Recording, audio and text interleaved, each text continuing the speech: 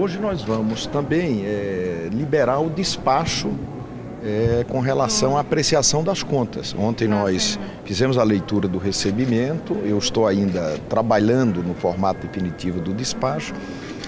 Nós vamos hoje é, publicar o despacho que chegou à mesa do Congresso Nacional com relação à tramitação das contas da Presidente da República.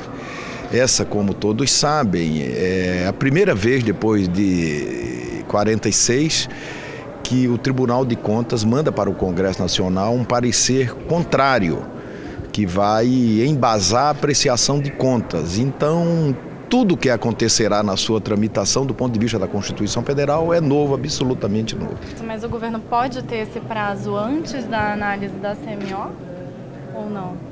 Já... Essa é uma possibilidade, é que é que os prazos da CMO ele não garante o direito de defesa, o contraditório. O ah, próprio Tribunal de Contas da União abriu um prazo, inicialmente de 30 dias, depois de 15 dias, 45 dias, para receber o contraditório. É, a grande pergunta é o seguinte: é se esse contraditório feito no Tribunal de Contas, ele, do ponto de vista do Congresso e do ponto de vista de decisões do Supremo, ele resolve.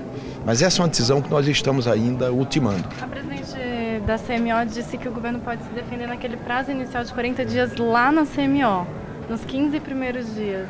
É, mas se o prazo é para. É, a dúvida é o seguinte: se o prazo é para apresentação de emendas e designação do relator, se você utilizar esse prazo para o contraditório, você estará é, invadindo um outro prazo especificado. Então, é, o, o, esforço que está se fazendo é para que nós tenhamos uma decisão que garanta o contraditório, não crie nulidades para o processo e, na plenitude, o direito de defesa.